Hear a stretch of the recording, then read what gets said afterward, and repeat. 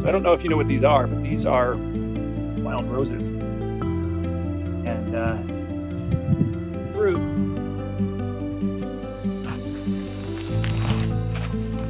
See that right there. Fruit is called rose hips. If they're dried, you can make a tea out of them, or you can just eat them fresh off. They're very juicy right now. It's September. But these are really high in vitamin C. They're really, really good for you.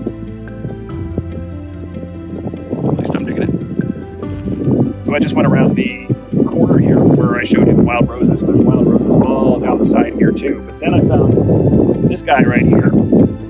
This is wax currant. And they're just tiny little berries. But they have a whole bunch of flavor. Super juicy.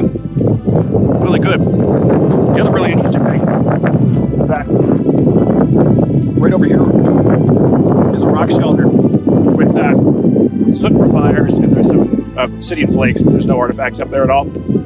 So that was a shelter there. We've got the creek that runs down here, and then we've got wild roses. We've got currant here. We've got um, ephedra, which is a really good medicinal plant too, just around the corner as well.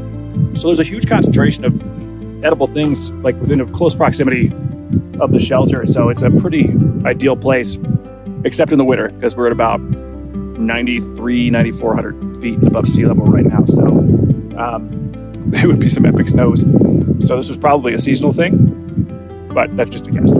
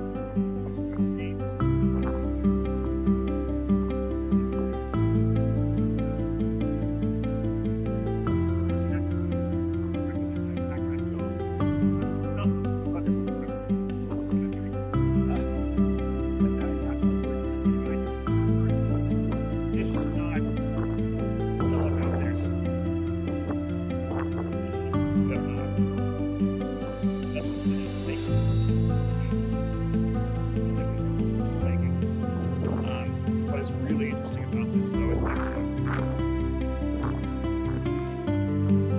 there's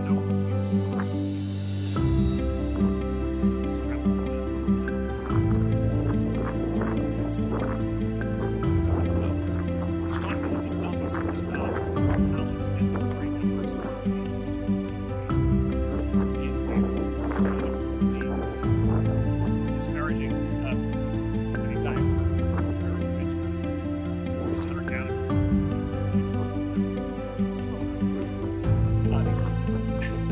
In contact